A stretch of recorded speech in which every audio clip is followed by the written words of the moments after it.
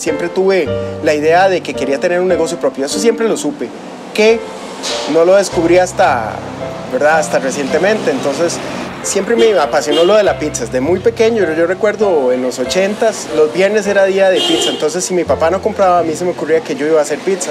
Entonces, hice experimentos desde recortar el pan, ¿verdad? El pan cuadrado, lo recortaba las orillas, lo ensamblaba en un molde cuadrado, le ponía todo lo que yo creía que iba a funcionar, ¿verdad? Y después nos comíamos un picadillo. Los primeros semestres del tecnológico tenía, tenía tiempo libre, entonces me encontré trabajo en una pizzería en, en Moravia, ¿verdad? Y ahí aprendí básicamente lo que no hay que hacer.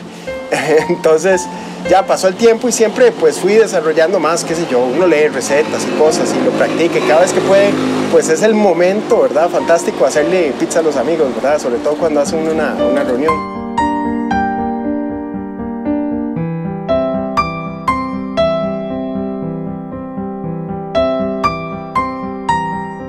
Después me fui a, vivir a Francia, a vivir, a trabajar y estudiar. Y entonces cuando llegó el verano y yo tenía que buscar un trabajo, ¿verdad? Para sobrevivir para el siguiente año, eh, un amigo sugirió que fuera a trabajar en una pizzería. Entonces yo llegué y entonces quise llevar el curso, ¿verdad?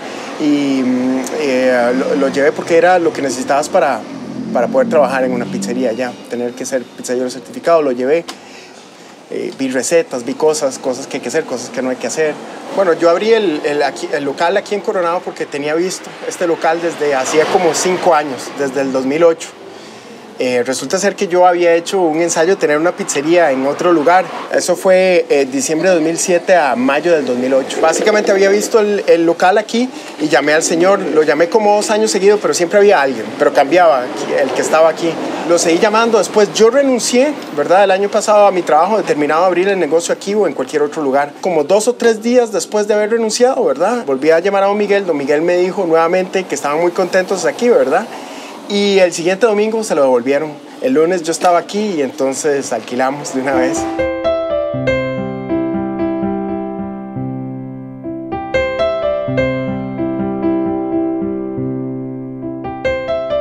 Yo era gerente de operaciones en, un call center. Ahí yo trabajé, manejé varias cuentas, eh, tuve también varios puestos. Eh, yo entré ahí como supervisor a, mi regreso de Francia. Yo quería trabajar ahí porque era una empresa que estaba empezando en aquella época, ¿verdad?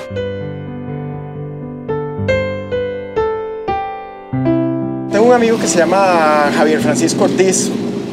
En los 90 se le conocía por un programa que tenía que se llamaba Sinceramente sobre sexualidad. Entonces eh, resulta ser que yo lo busqué a él y yo le dije, mira, yo quiero que me ayudes porque estoy muy tenso, quiero que me ayudes a controlar esto del estrés. Francisco me dijo, pero ¿cuándo fue que fuiste feliz o has sido feliz alguna vez? Y yo le conté, sí, mira, una vez tuve un negocio propio, pero unos cuantos meses y me encantó. También había hecho pizzas en otros lugares, ¿verdad? Y me encanta.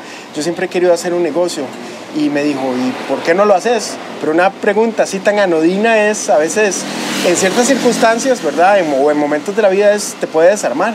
Bueno, llegó ese momento en que yo me harté del trabajo, ¿verdad? Por distintas situaciones y decidí que me iba a poner el negocio, ¿verdad? Fue todo un acto de fe. Pasé dos meses aquí metido, yo me, me sentaba a ver cómo estaba todo, ¿verdad? Cómo acomodarlo y fui encontrando todas las cosas y las fui comprando con lo que me quedaba de él aguinaldo que me habían pagado con la liquidación, unos días de vacaciones, ¿verdad? Y la tarjeta de crédito y monté el negocio.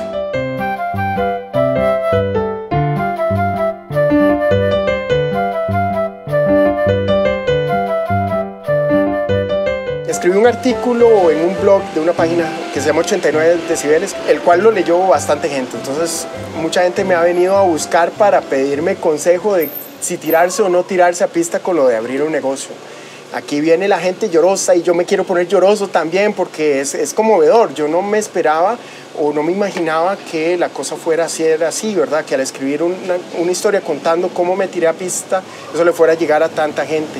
Hace unas tres, cuatro semanas se publicó en La Nación un artículo que dice que solo dos de cada diez costarricenses se visualizan como emprendedores, ¿verdad?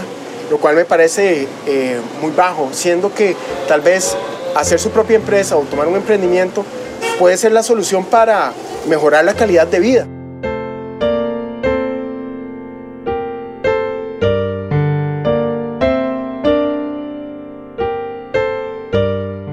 Yo abrí la pizzería el 28 de septiembre del año pasado, del 2012, y ah, ha sido una experiencia muy gratificante.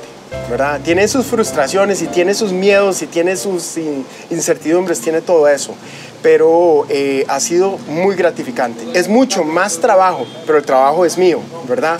O sea, todo lo que yo haga es, me lo gano yo, por así decirlo, o me paga de alguna forma, de una forma que tal vez no es monetaria. Apenas entre la primera llamada me lata el corazón, ¿verdad? Es una emoción y entonces sí, señora, o sí, señor, ya le listo y todo eso. El cambio para mí eh, implicó varias cosas, eh, incluso el aprender a vivir con menos. Y eso es una de las cosas a las que uno más le tiene apego, ¿verdad? Necesito vivir con cierta cantidad de salario para poder gastar en esto y esto y esto. Cuando ya uno se independiza y si uno trabaja cerca o casa o en lo propio, gasta menos. Si uno lo analiza, se vuelve como un círculo vicioso. Entonces uno está trabajando para poder mantener la gasolina que ocupa para viajar, para ir allá y entonces cortas con un montón de cosas.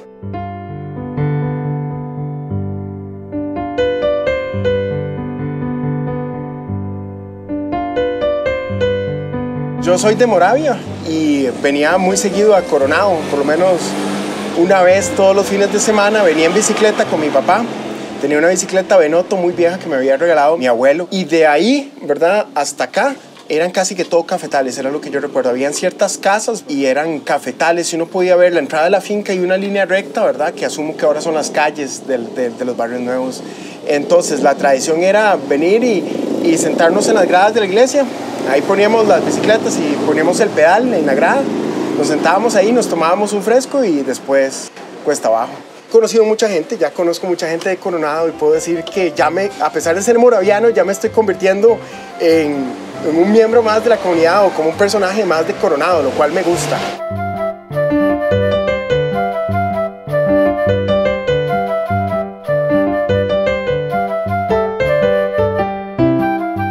Yo sí tengo planes, yo tengo eh, la idea de crecer, de conocer, eh, eh, de que me conozcan más, de mm, darme a conocer más en los cantones que te digo, Coronado, Guadalupe, Moravia, sistematizar el negocio, traducirlo a procesos, de tal forma que puedas hacer las cosas siempre de la misma calidad, ¿verdad? Y que sea incluso divertido, ¿verdad?